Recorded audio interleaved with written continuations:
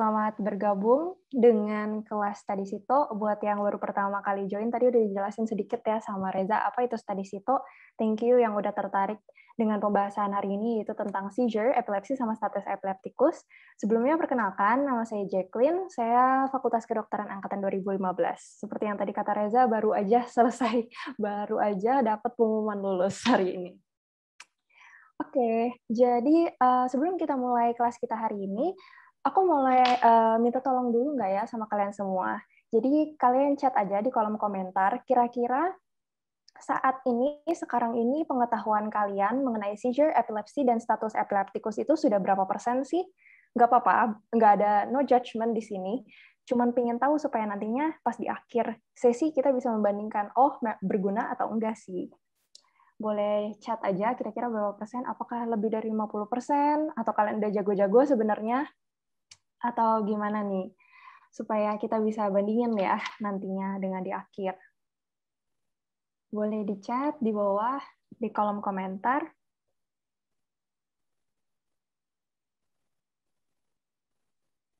lima persen Reza. Bohong ini Mbak Reza. Yang lainnya kira-kira aja. Ayo guys, siapa tahu udah tahu 100%, ambil alih aja lecture-nya. Langsung saya aja. Ada lagi yang lain? Jangan kacangin guys, ayo guys. Nggak, di sini nggak ada, apa namanya, no judgment kok.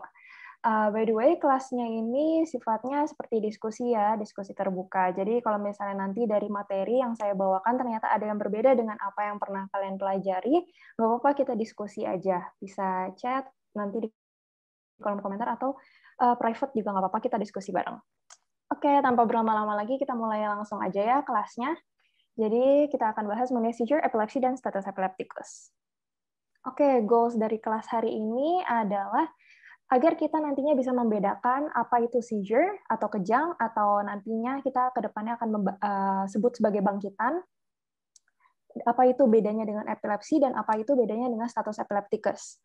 Lalu selanjutnya kita juga uh, nantinya di akhirnya semoga kita bisa recognize seizure in clinical practice. Jadi kalau misalnya nanti di koas di uh, ketemu pasien kita bisa membedakan mana yang kejang, mana yang bukan, apakah ini kejang atau bukan. Selanjutnya untuk bisa memberikan differential diagnosisnya supaya kita tahu kita harus uh, mendiagnosis banding dengan apa dan juga untuk memberikan treatment yang tepat atau tata laksana yang tepat. Oke, pertama kita akan bahas adalah seizure atau kejang atau bangkitan. Oke, kita mulai dari patofisiologi terlebih dahulu. Jadi ini pasti kalian udah pernah dengar lah ya patofisiologi sederhana dari kejang selama perklinik, yaitu uh, kejang itu bisa terjadi karena adanya ketidakseimbangan antara neurotransmitter inhibitori dan eksitatori pada otak. Jadi di otak memang ada neurotransmitter-neurotransmitter yang saling berhubungan, ada yang sifatnya inhibitori, ada yang sifatnya eksitatori. Nah, contoh yang inhibitory adalah GABA dan glisin, sedangkan yang excitatory contohnya adalah glutamat dan asetilkolin. Nah, jadi kalau misalnya kita ibaratkan ya, uh, kurangnya transmisi inhibitory. Anggap aja inhibitory ini itu sebagai uh, rem. Kalau kita nyetir mobil, terus misalnya ada rem, nah di otak kita ini kekurangan remnya. Jadi pas kita lagi nyetir, kita nggak bisa ngerem makanya dia terus-terusan maju jadinya nabrak. Nah, nabrak itu yang kita anggap sebagai kejang. Atau bisa juga ketidakseimbangannya itu ternyata dari sisi si eksitatori. Eksitatori ini misalnya kita ibaratkan sebagai gas ya, eh, pedal gas di saat kita menyetir. Nah, ini ternyata kita nginjeknya tuh kebanyakan. Karena kita nginjeknya kebanyakan, sama juga ujung-ujungnya akhirnya adalah nabrak. Nah, nabrak itu yang kita ibaratkan sebagai kejang. Itulah patofisiologi sederhana, kenapa bisa kejang ya. Oke, selanjutnya untuk dari etiologi. Nah, etiologinya secara garis besar kita bagi menjadi uh, dua garis besar ya, yaitu yang primary neurologic disorders dan juga yang systemic disorders. Nah, kalau primary neurologic disorder contohnya ada kejang demam di anak-anak, ada idiopathic seizures. Seperti yang kita tahu, idiopathic itu artinya adalah uh, sesuatu yang terjadi tapi kita nggak tahu penyebabnya apa. Atau bisa juga kriptogenik. Kriptogenik itu artinya uh, kita penyebabnya tahu nih, oh ini kejangnya tuh pasti ada penyebabnya, tapi saat ini kita belum menemukan atau belum uh, kita find out apa itu penyebab si kejangnya. Atau ada klien kongenital, atau ada cerebral dyskinesia, uh, atau sebelumnya ada riwayat head trauma, ada kecelakaankah pasiennya, atau bisa juga vaskular. Vaskular ini misalnya ada stroke, perdarahan, iskemik, atau ternyata dia ada AVM, Eh, lalu ada aneurism, itu semuanya bisa ya bikin kejang. Nextnya ada masa. Masa menyebabkan peningkatan ICP juga, mendesak uh, organ otaknya itu sendiri bisa menyebabkan ketidakseimbangan neurotransmitter. Lalu yang terakhir ada infeksi uh, sistem saraf pusat. Bisa mulai dari meningitis, encephalitis, bisa toksoplasmosis, dan lain-lain ya, banyak banget. Selanjutnya kita pindah ke grup kedua. Nah, ternyata kejang itu penyebabnya bukan cuma dari otak aja, tapi bisa dari sistemik juga.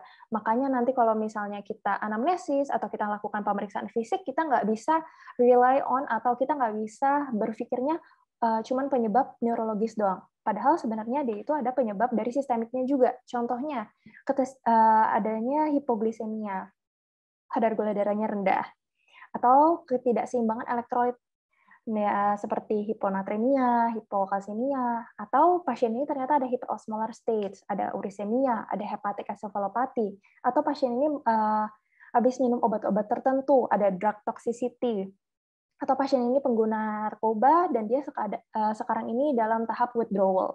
Uh, dia udah beberapa hari tidak menggunakan misalnya.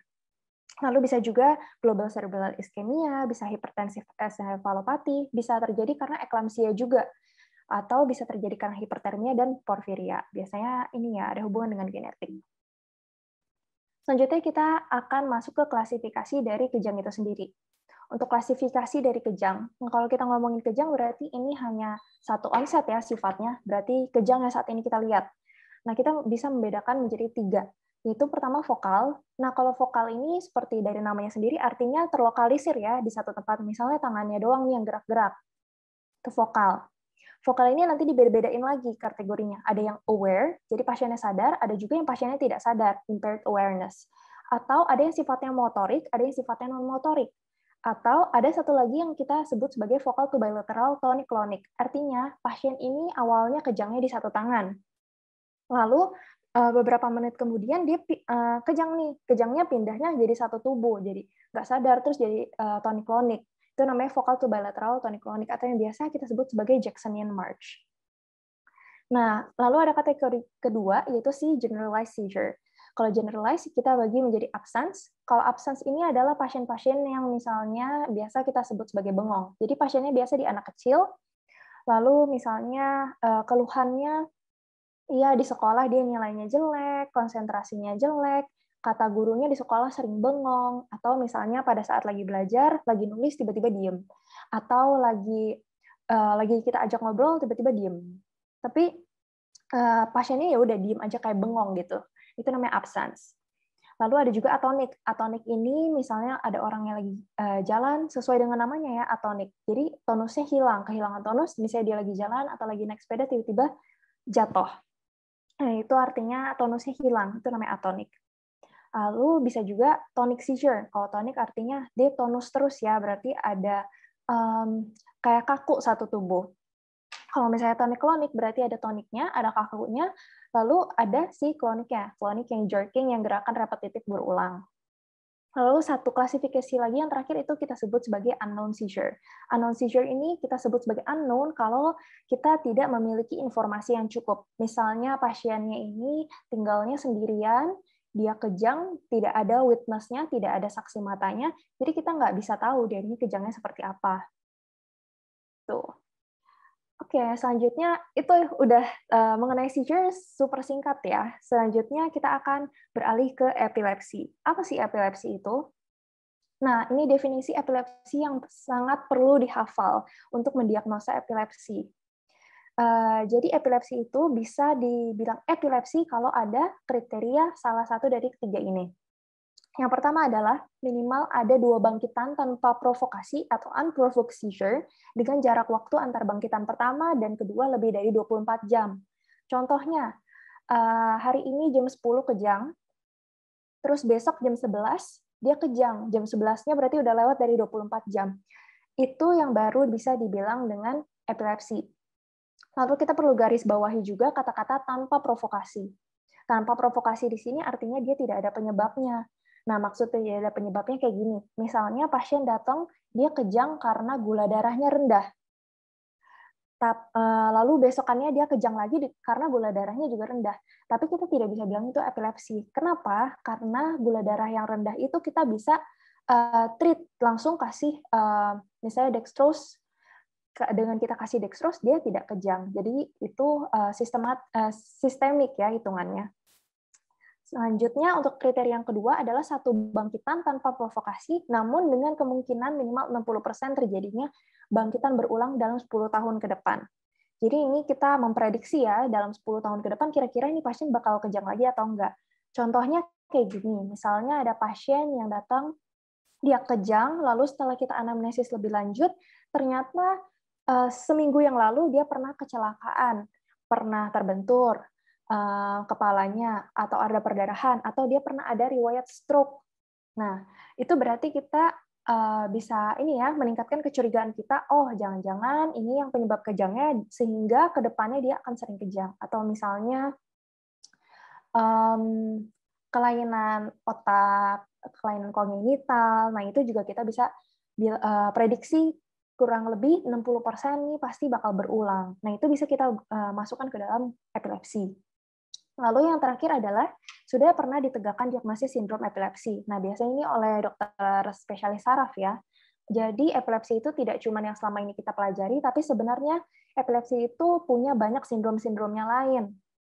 Contohnya ada uh, Lennox-Gastaut, ada Ohtahara, nah itu macam-macam. Jadi biasanya sih diagnosisnya dengan EEG, pemeriksaan EEG, dan masing-masing itu ada ciri khas uh, epilepsinya masing-masing atau kejangnya masing-masing. Nah itu diklasifikasikan dengan uh, sindrom epilepsi. Tapi kita untuk lulus OSKI, lulus koas itu bukan spesialisasinya kita ya. Jadi kita cukup tahu bahwa ada sindrom epilepsi, tapi tidak perlu kita dalami untuk saat ini.